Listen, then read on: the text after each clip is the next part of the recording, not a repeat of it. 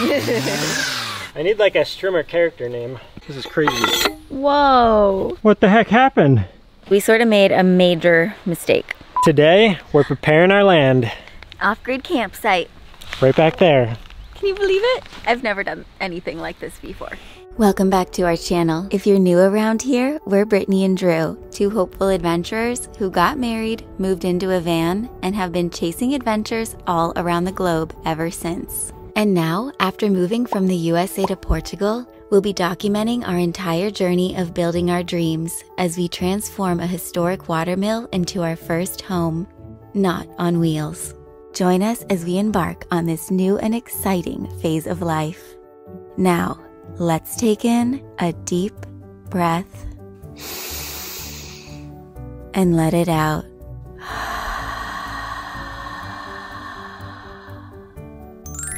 Let the adventure begin. Welcome back to another episode here in Portugal. We last left you explaining why we don't yet have the keys to our watermill ruin that over the next few years we will be transforming and renovating into our home. So for now, Drew and I have been working the land, the 6.8 hectares that we do own, preparing the spot behind me for our camper, where we're gonna be living off-grid while the renovation works take place. But this is something that we've never done before. Drew and I have been nomads for the past eight years. We're first-time landowners owners. I don't know what I'm doing, but I'm enjoying myself. it's taken us about four hard days of labor to get it almost level, but today we have to get it perfectly level because tomorrow we have a huge, huge delivery coming here.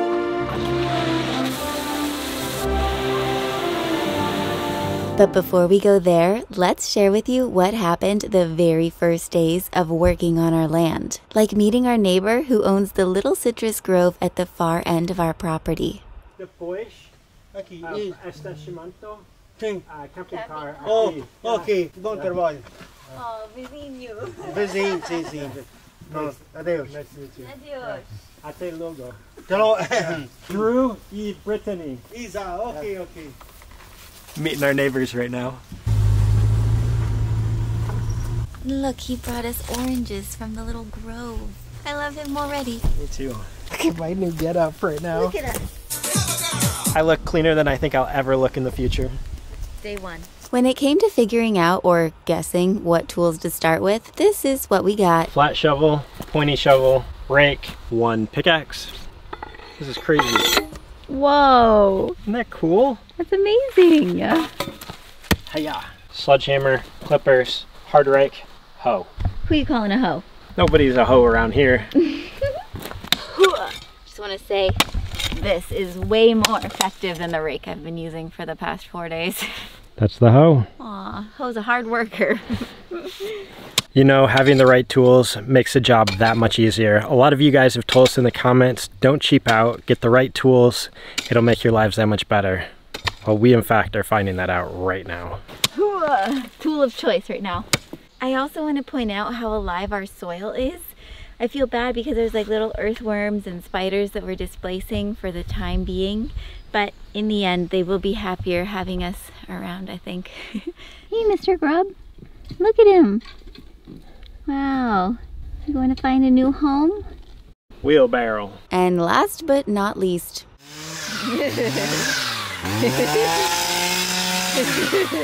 Drew's new best friend.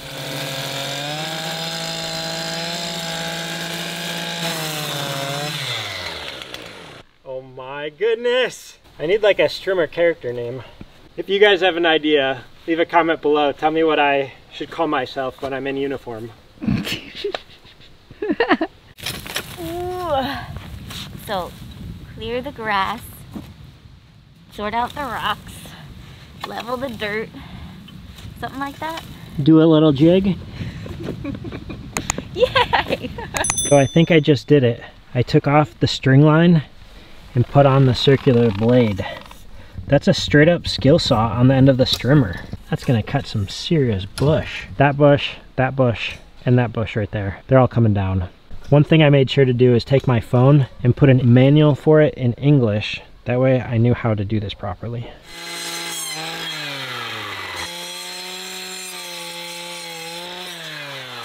Wow. Wow. Never done that before.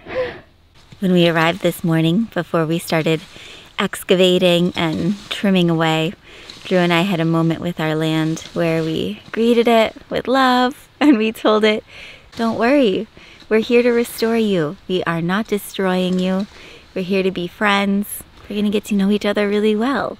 And it's pretty crazy to see the fruits of our labor already after day one. If you're wondering the method behind our madness here, our future camping spot was low in the back, low on the right, but high in the middle. It was all sorts of weird. So we're just trying to redistribute the earth and trim the areas around it. Watch this. It's like clay. Yeah, It's heavy, it's heavy. super compacted. Yeah. I also want to say how amazing it feels to be able to focus our attention on one thing, be able to pour our energy and our thoughts into loving this land. And sure, it's a tough terrain to sort of dig my way through, but I'm enjoying this. And once you get the hang of it, I could do this for hours until my muscles give out and I'm so ready to go home. Hard work is fun. Work hard, play hard, work harder, play harder, you know.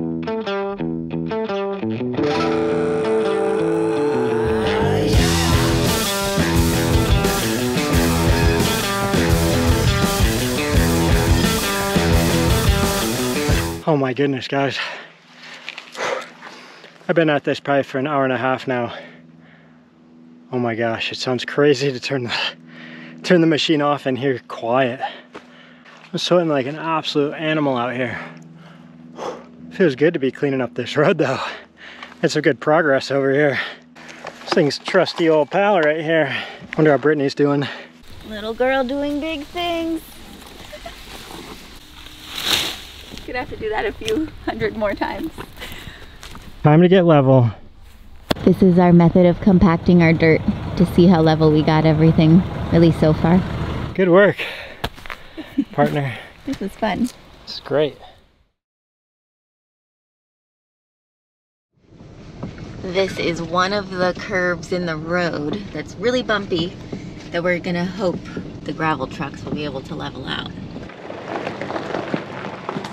It's gonna be interesting watching a huge truck make its way down this. It's been tricky knowing where to start with this whole project, but we figured getting us a level spot, smoothing out our road that we drive down every single day, down and up, was a perfect place to start. One day at a time, one project, one scoop of gravel or dirt, just, you know, trying not to get overwhelmed and enjoy the process, which we are, and that's what's most important. And there's our future home is where you park it spot. It's gonna look a whole lot better by the end of today. Eating oranges from our neighbor. No pesticides, no nothing. Uh, ready for this? Look how juicy that thing is. That wasn't the cleanest peel job. it was effective. How much do you want a tool shed right now? So, so bad. But this has been absolutely essential. And today, in fact, we've hauled our first big objects on the roof. So Oh, tubes. I don't know how we would have done that had we had like only a back bed part eh, without that support up there. So That's true. Time to put on your dancing shoes. dancing shoes. Oh, they're still wet. Gross. Cold.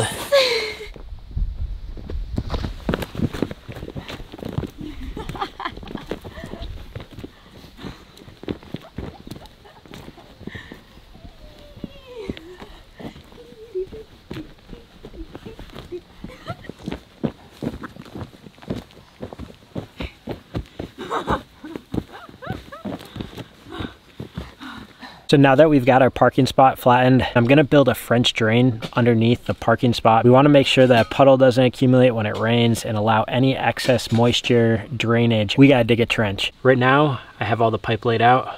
I'm gonna draw a line so I know where to dig my trench. Hopefully my line's straight.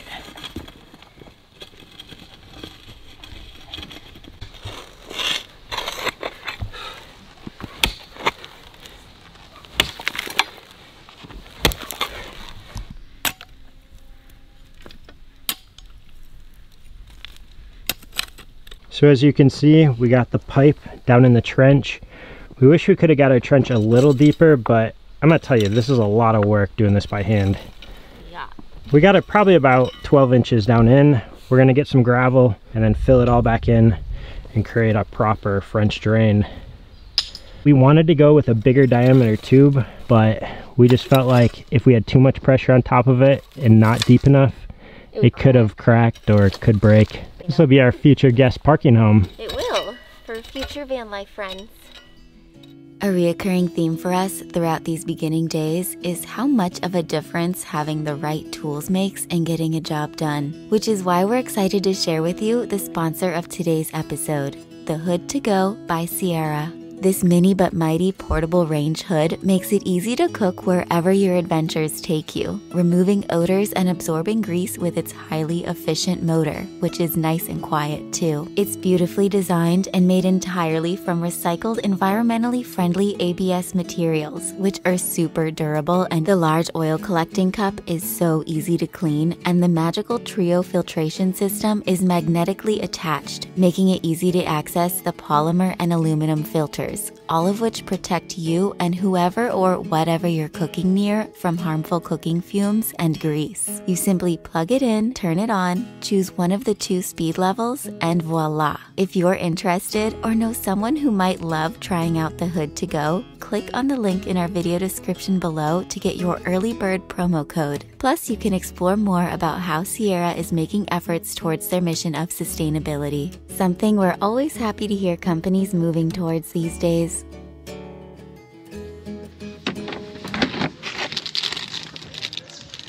It's a beautiful morning. Perfect day to get gravel. Got our coffees. Cheers.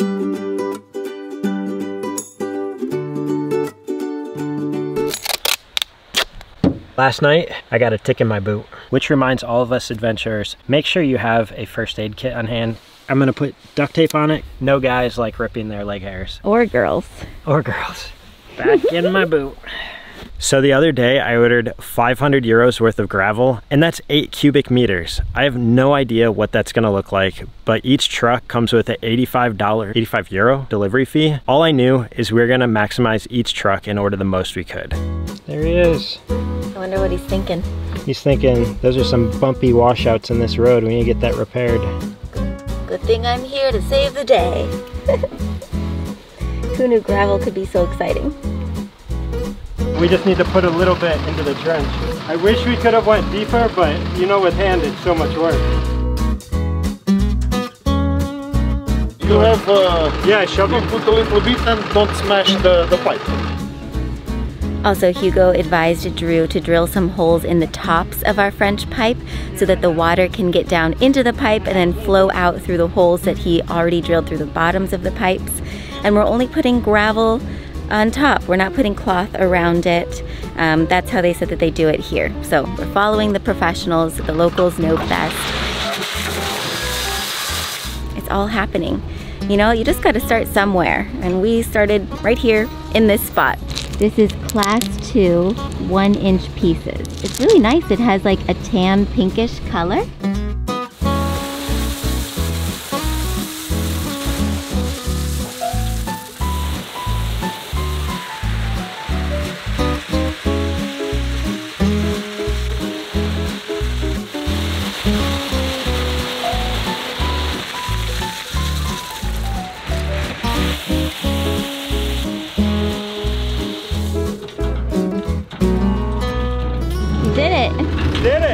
You guys wanna know what? That's only half the load. There's another truck coming for our curve up there. Surprise. Wow. That was only four cubic meters here. I go pick the other loads. Perfect. Then And we'll meet you the, up there. The first uh, Yeah, the- deliver, it's in, it's maybe put one, two, three or four. We're happy with this. It looks great. More than 30 Yeah, minutes, yeah. I'm, I'm We'll, here again. and then we'll come, when we hear you, we'll come up there. Yeah. Okay. Uh,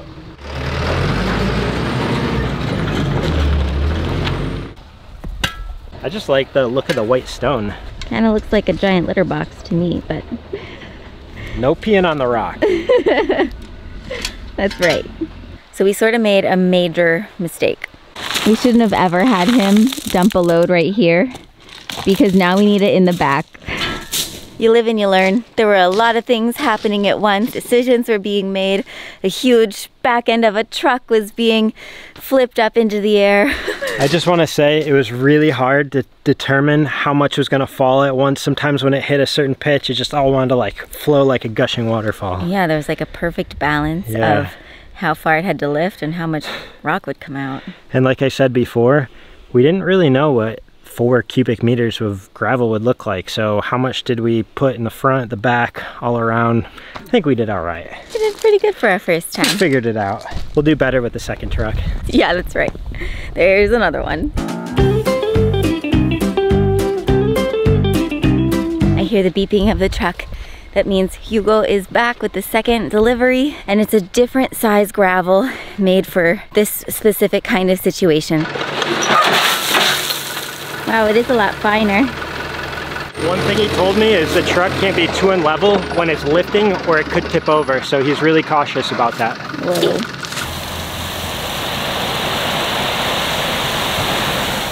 Whoa. Pile number four. We thought that we would only be able to smooth out the bend in the road, but Drew's all the way up there, like by the main road, making our whole road better. That right there, that's our last bit of gravel for the day. Let's go, we got work to do. Part of why smoothing out this road is so important for the obvious reasons, being able to drive down it just more easily. It's pretty crucial for us being able to get Espiritu down the road and back up out of the road, especially because this gravel is supposed to be for more grippiness.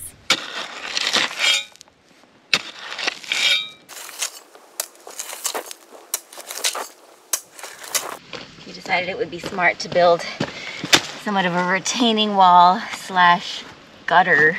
Ow! My thumb. Because the water will likely come this way, and that's probably why this road was washed out so badly. So we figure if we build up some rocks, the water will be able to pass, and hopefully the rocks will hold in all of this good stuff.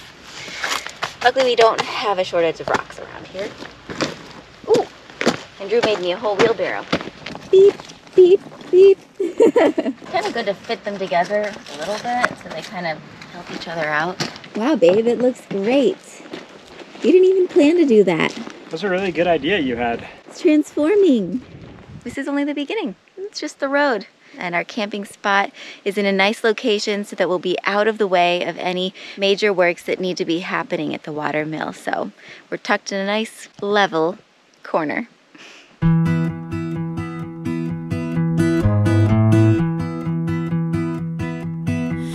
Everybody has their job, scared to risk what the future might bring. What the future might bring. What the heck happened? Siesta. You've had enough? I can't do it anymore. I like your bucket method. Just trying to relocate the gravel a little too thick over here to our bald corner. I didn't want to use the rake or the hoe anymore. A few more buckets. You're so dusty and white. Oh yeah. Ready for this? Oh, right on my toe.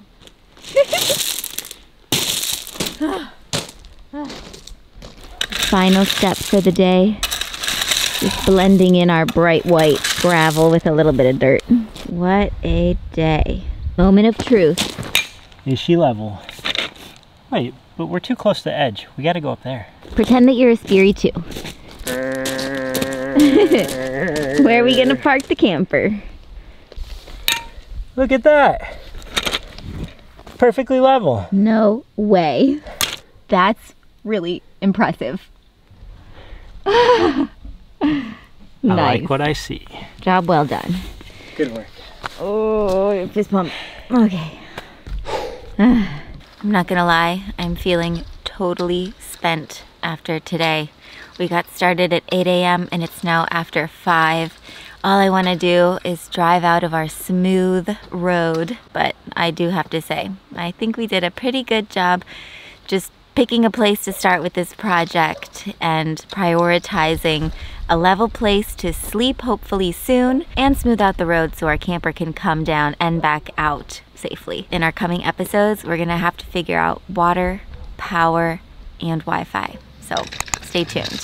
How excited are you to drive out of our smooth road? I think I might be so excited that I might do it once or twice. Just to help pack it down. Maybe three or four. We'll see. I'm ready. You gonna pack the tools? I can gather them, yes. All right. Teamwork makes the dream work. That's right. And this is our tool shed, remember. Soon enough, we'll have the keys to the water mill, but for now, we got a happy little place to call home up here.